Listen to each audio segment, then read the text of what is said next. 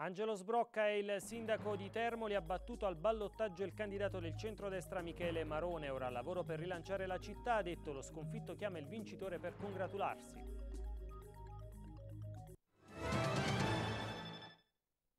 Il nuovo volto del Consiglio Comunale, 15 consiglieri della maggioranza con il PD che fa la parte del Leone, 9 gli scranni per l'opposizione dove siederanno anche i candidati sindaco che non ce l'hanno fatta.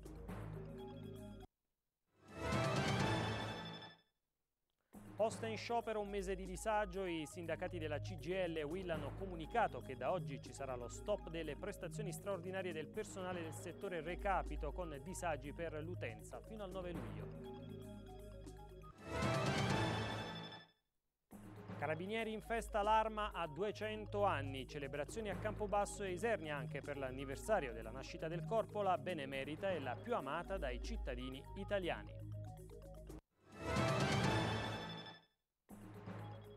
Campobasso sul mercato sonda i senior, un uomo per reparto è l'obiettivo del Campobasso per allestire una squadra competitiva. A Termoli domani primo incontro per l'avvio della stagione, biliardo conclusa la gara nazionale.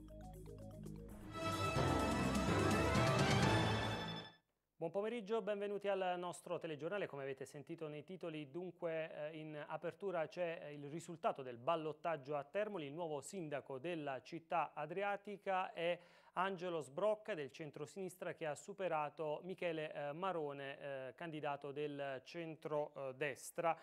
Eh, Telemolise ha seguito in diretta lo spoglio eh, tutta la notte fino al risultato eh, acquisito. E allora eh, vediamo i numeri di questa tornata elettorale, ascoltiamo i protagonisti intervistati a caldo collegandoci con Fabrizio Occhionero che vedo già pronto nella redazione di Termoli e allora Fabrizio a te la linea. Sì Tonino, buongiorno da Termoli, una città che si è svegliata con un nuovo sindaco, un sindaco di centro-sinistra. Si tratta, come accennavi tu, di Angelo Sbrocca che ha raccolto 6.461 voti pari al 51,77% ha battuto il candidato del centrodestra Michele Marone che ha raccolto 6.020 voti pari al 48,23%.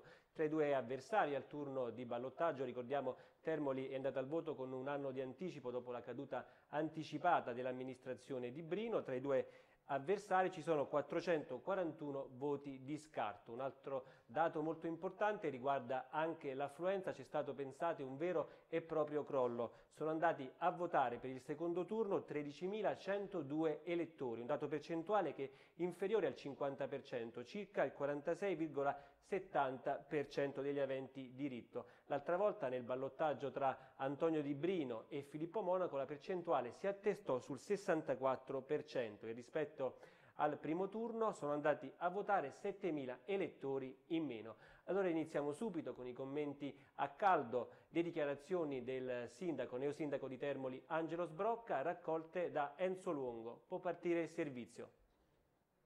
Se l'aspettava una vittoria in questi termini? C'è stato un testa a testa all'inizio? Ma io non mi aspettavo niente, è venuta, è venuta bene, anche con un testa a testa però abbiamo vinto noi, ha vinto la coalizione di centrosinistra e adesso governeremo per cinque anni questa città. Che cosa vi ha premiato secondo lei? Perché hanno scelto voi gli elettori? Secondo me ha premiato la discontinuità e anche la pacatezza perché non abbiamo fatto una campagna gridando e quindi i cittadini hanno premiato questo aspetto. C'è molto da fare per Termoli? Sicuramente sì, c'è molto da fare e lo faremo. Premiata anche la coalizione di centrosinistra o è una cosa locale questa del voto di Termoli? No, no, no, premiata la coalizione di centrosinistra, premiata tutti i partiti della coalizione, il Partito Democratico in primis che è un partito in grande ascesa, il Partito eh, dell'Italia dei Valori, Popolari per l'Italia e poi le liste civiche che hanno formato quella che è la nostra unione e che ci ha consentito di vincere. Senta, c'è qualcuno in particolare che vuole ringraziare, che ha contribuito in modo... Tutti indistintamente, tutti quanti, i cittadini che ci hanno votato, tutti i politici che ci sono stati vicini, lo staff eh, elettorale che ci ha dato una grande mano e, e, tutti i candidati che hanno messo la propria faccia per eh, la mia candidatura e soprattutto per il bene di questa città. Al candidato del centrodestra cosa si sente di dire stasera? Gli faccio i complimenti per uh, il risultato e spero che farà una buona opposizione. Bene Fabrizio. Ecco, il sindaco Sbrocca ha parlato di una buona opposizione per quanto riguarda Michele Marone, Michele Marone che ha anche telefonato subito dopo il risultato definitivo proprio ad Angelo Sbrocca. Allora ascoltiamo Michele Marone mentre i festeggiamenti per quanto riguarda Sbrocca sono continuati prima in corso nazionale e poi proprio davanti al comune dove non è mancata una foto di gruppo. Allora ascoltiamo il candidato centrodestra sconfitto Michele Marone dalla sua sede elettorale. Grazie a tutti, a tutti gli amici a tutti i cittadini di Termoli che hanno espresso questo consenso importante perché poi il divario, se non vado errato, adesso non, non conosco l'ultimo dato, però mi sembra che... Circa 500 voti. Eh, appunto, sono, sono circa 500 voti. E in considerazione del fatto che sostanzialmente io sono espressione di una lista civica, attorno alla quale diciamo che si sono unite le forze del centrodestra contro una corazzata del centrosinistra formata dal PD, ma soprattutto dal governo regionale del, del centrosinistra che chiaramente insomma, ha sostenuto con ogni forza in ogni dove il candidato Angelo, Angelo Sbrocca. Quindi ritengo che sia un risultato importante, significativo e sotto certi profili anche vincente, quantomeno per le forze moderate che a Termoli, a Termoli esistono ed esistono anche senza coloro che hanno un nome e cognome, Remo di Giandomenico, che hanno ritenuto di appoggiare la sinistra, o meglio il centro-sinistra, che oggi ha vinto le elezioni comunali a Termoli. Quindi è importante che la città sappia quello che è successo. Per lei che opposizione sarà? Ma ovviamente una opposizione sempre di, di natura costruttiva, perché come ho sempre detto in ogni mia eh, dichiarazione pubblica, in ogni mio in intervento, l'azione amministrativa del Comune di Termoli dovrà essere mh, caratterizzata dall'efficacia e dall'efficienza. E all'efficacia e l'efficienza e imparzialità dell'azione amministrativa sicuramente ci sarà il contributo del sottoscritto anche se sta all'opposizione.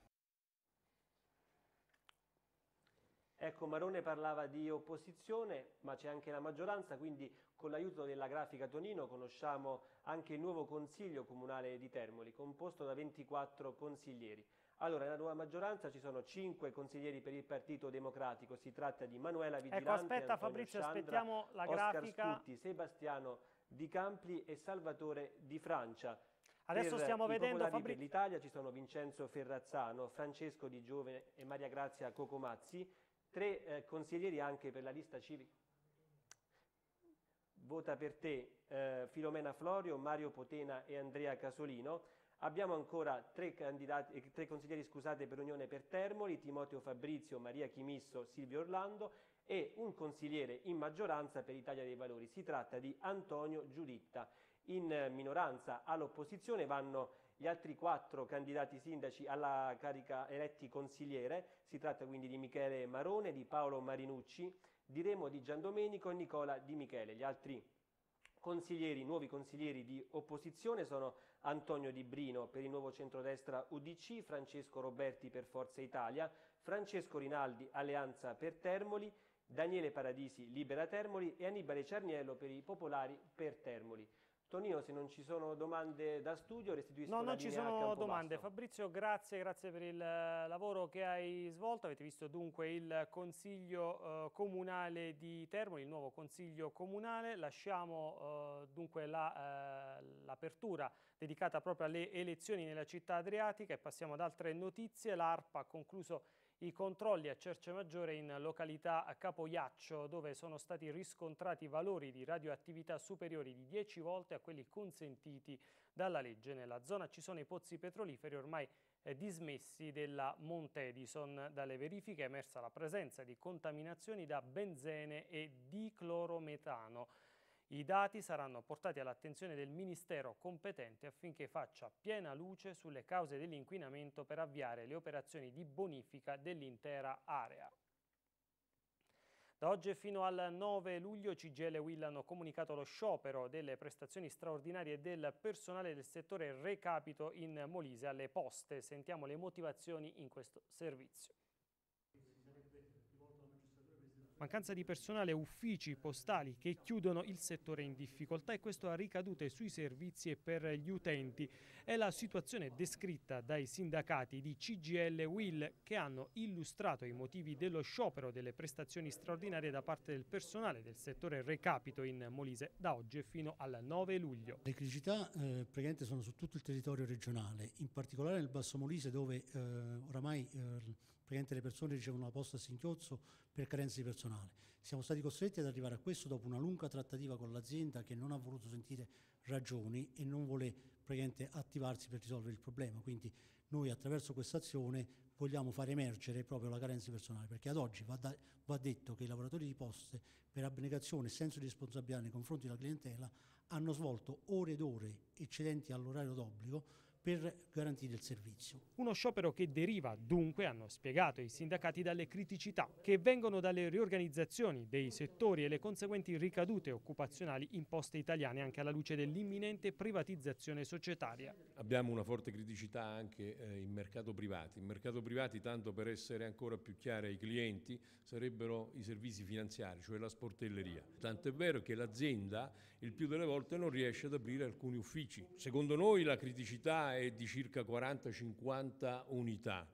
Volevo precisare eh, alle figure istituzionali politiche di questa regione che in questa regione ci sono circa 100 ragazzi part-time, cioè che lavorano a 15 giorni per un importo di 750 euro al mese. Perché non trasformare molti di questi contratti da part-time a full-time? Sarebbe già una prima risposta. I sindacati vogliono risposte, altrimenti la protesta continuerà, dicono. Sicuramente saranno anche disagi per i cittadini eh, che sfortunatamente eh, diciamo, si trovano a dover pagare le conseguenze di una disorganizzazione generale. Per quanto riguarda mercato privati, noi abbiamo intenzione di dichiarare una giornata di sciopero generale, quindi la chiusura totale degli uffici, a differenza dei servizi postali che è dalle prestazioni aggiuntive straordinarie. Quindi non è possibile ad oltranza. Per quanto riguarda eh, i servizi postali non è detto che lo sciopero di un mese venga poi prorogato per un altro mese e magari arriveremo fino a settembre. Dopo le polemiche sollevate dagli studenti sul ventilato aumento delle tasse universitarie, dall'Unimol è arrivata la replica. Le tasse dell'Università del Molise sono e restano tra le più basse d'Italia, hanno fatto sapere dall'Ateneo. E il nuovo regolamento non tocca in alcun modo le fasce deboli, le famiglie in difficoltà economica per le quali sono previste riduzioni o esenzioni. È stato celebrato anche a Campobasso, nella caserma Frate, il bicentenario della nascita del Corpo dei Carabinieri, cerimonia solenne durante la quale sono stati anche consegnati dei riconoscimenti a militari che si sono distinti in operazioni di servizio sul campo.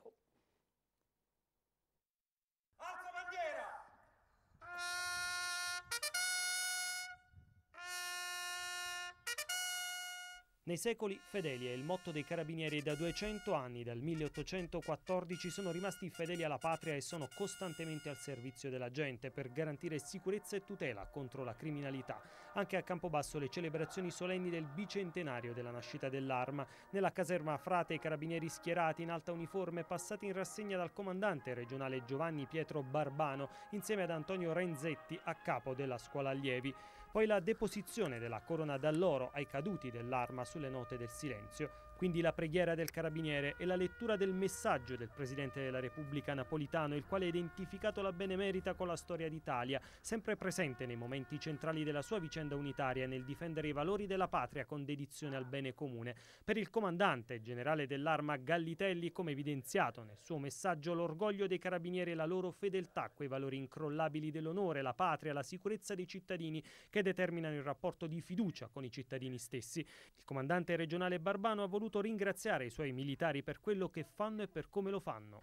Il dovere di comandante mi impone di rivolgermi soprattutto a voi, carabinieri del Molise, compagine coesa, fatta di uomini e donne consci dell'importanza del proprio dovere. Durante la cerimonia sono stati consegnati riconoscimenti e encomi a diversi militari che si sono distinti per operazioni sul campo senza paura della loro incolumità e pensando solo a fronteggiare la criminalità, a difendere la cittadinanza, un'attività costante in tutti i campi nel contrasto a rapine, furti, spaccio di droga e altri fenomeni ancora. E voglio evidenziare come la nostra presenza sul territorio molisano si sia caratterizzata nel 2013 da oltre 50.000 servizi preventivi Servizi che nei primi cinque mesi di quest'anno hanno già raggiunto un valore assoluto di 26.016 pattuglie.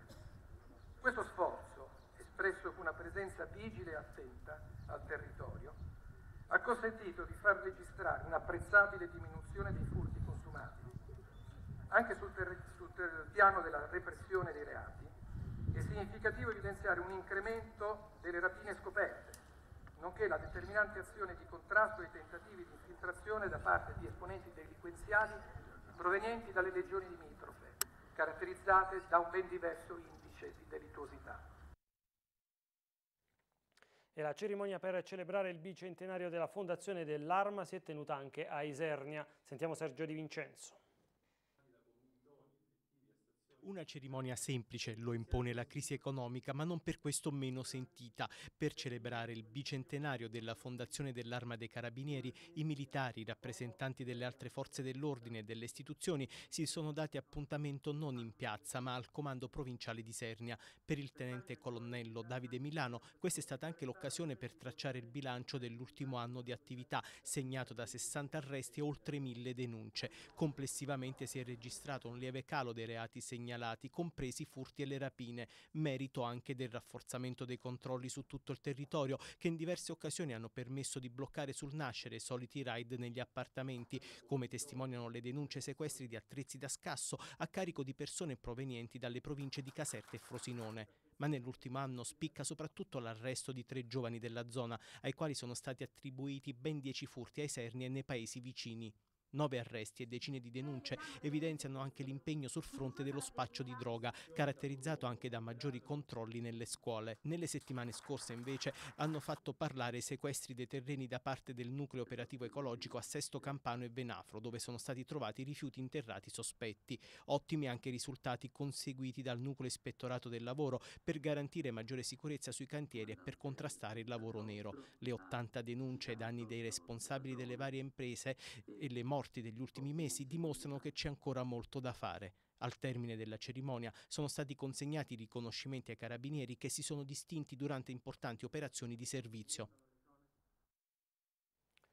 A Isernia, nell'area del terminal bus, la delegazione provinciale del CONI ha organizzato la giornata nazionale dello sport. I partecipanti, sia piccoli sia grandi, hanno potuto cimentarsi in diverse discipline sportive. La manifestazione è stata organizzata per festeggiare i 100 anni della fondazione del Comitato Olimpico Nazionale. È stata un'occasione, hanno commentato i promotori dell'iniziativa, per rivivere insieme la storia del CONI, per rimarcare i valori dello sport e per scoprire quali sono le eh, diverse discipline sportive praticate sul territorio.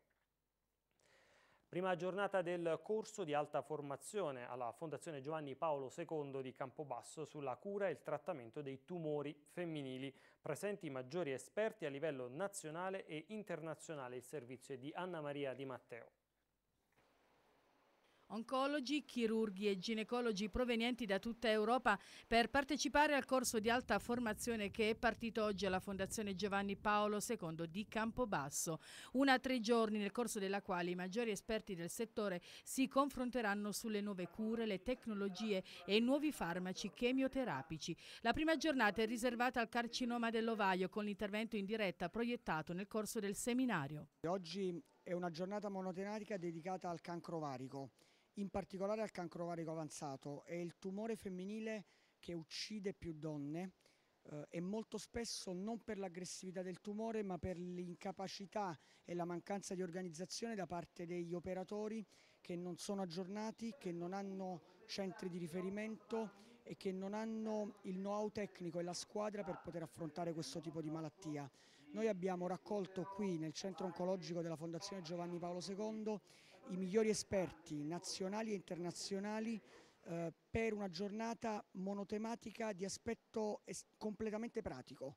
Eh, chirurgia in diretta dalle sale operatorie, eh, relazioni nel pomeriggio per cercare di insegnare ai colleghi come fare, cosa fare, quando fare.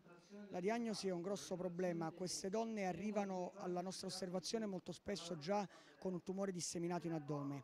Questo è colpa di un ritardo della diagnosi e questo tipo di evenienza di fatto poi spiazza il ginecologo che non avendo spesso le competenze proprie del ginecologo-oncologo eh, considera di fatto la paziente già persa. Queste sono donne che possono guarire, noi dobbiamo fare il massimo sforzo terapeutico e chirurgico per aiutare queste donne, per salvare queste donne.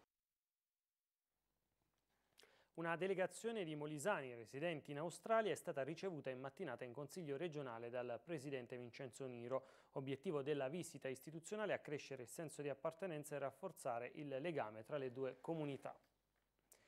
Grande interesse e partecipazione all'ottava edizione del Planta Tour, la passeggiata alla scoperta delle piante officinali che si è svolta attraverso le aree incontaminate che eh, costeggiano Bagnoli del Trigno. La manifestazione è stata organizzata dall'Associazione La Chiave della Salute e dal Centro Studi eh, Cosmo de Orazis. Per noi c'era Giuseppe Carriera. Il Plantatur di Bagnoli del Trigno, una passeggiata all'interno di un ecosistema naturale che appaga prima la vista, poi l'olfatto, con il profumo autentico della campagna a giugno, infine la voglia di sapere, di conoscere tante piante che spontaneamente popolano il nostro Molise e che racchiudono, come uno scrigno, tante proprietà. Sono piante eh, per uso eh, non solo medico, perché comunque ad uso salutistico, per la salute. Il loro uso infatti è anche in campo cosmetologico per esempio, ma anche eh, per uso culinario e non è che in ambito cosmetologico o uso, per uso culinario si va al di fuori della salute, sono piante che anche attraverso questo utilizzo fanno bene alla salute. 5 km e mezzo attraverso luoghi incantevoli con le spiegazioni di docenti e esperti delle materie legate alle piante officinali, al loro ecosistema, al loro utilizzo. Poi un pranzo nella domus area caratterizzato dall'uso di alcune di queste erbe. Infine una visita guidata agli stabilimenti Biogroup e officine naturali. Una giornata densa di occasioni di scoperta che si inserisce in una filosofia di elevato spessore scientifico.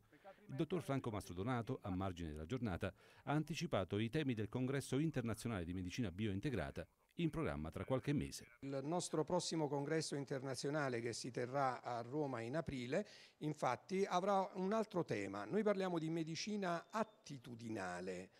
Ciascuno di noi ha una sua costituzione, ciascuno di noi ha un suo metabolismo, eh, la sua flora batterica, eccetera, eccetera, il suo carattere e compagnia bella. Bene, Alimentazione strettamente personalizzata, più che alimentazione, nutrizione è il termine più giusto. La nutrizione può essere svolta in termini mirati ad una malattia, una problematica, può essere svolta in termini di drenaggio di un organo, di un viscere, di un apparato, può essere svolta in termini di terreno e questa è la parola chiave. Terreno cosa significa? Terreno significa costituzione. Terreno significa il nostro essere nella sua globalità, quindi dal punto di vista biochimico, psicologico e fisico. Bene, ciascuno di noi ha la sua costituzione, quindi ha le sue predisposizioni, a ciascuno la sua nutrizione, a ciascuno i suoi alimenti, quelli che l'organismo predilige e tenere a bada quelli che l'organismo avversa. E poi c'è da dire un'altra cosa, e questo vale per gli alimenti ma vale per qualsiasi altra cosa non si mangia solo per vivere, ma attenzione, si vive anche per mangiare. C'è la cultura del cibo e questa cultura va coltivata perché insieme alla cultura del cibo, soprattutto se riusciamo a personalizzarla per noi stessi, allora veramente realizziamo noi stessi. Parliamo adesso del terzo raduno pentro di auto e moto storiche organizzato a Isernia dalla Old Car Club, l'associazione presieduta da Tony Corbucci, che ha richiamato in città appassionati provenienti da tutta la regione. Ospiti d'onore della manifestazione i ragazzi della cooperativa Lavoro Anch'io di Isernia, che tra l'altro hanno realizzato una targa ricordo che il club ha donato al sindaco della città Luigi Brasiello. Dopo il raduno in Piazza della Repubblica i partecipanti hanno effettuato un giro turistico lungo le strade della provincia. Veniamo adesso alla manifestazione di fine anno delle scuole a Isernia, la San Giovanni Bosco e la scuola dell'infanzia eh, dell'Immacolata Concezione hanno salutato l'anno scolastico con due simpatiche iniziative, ce le racconta in questo servizio Enzo Di Gaetano. Una mostra con tutti i ricordi dei nonni e le testimonianze di come si viveva una volta.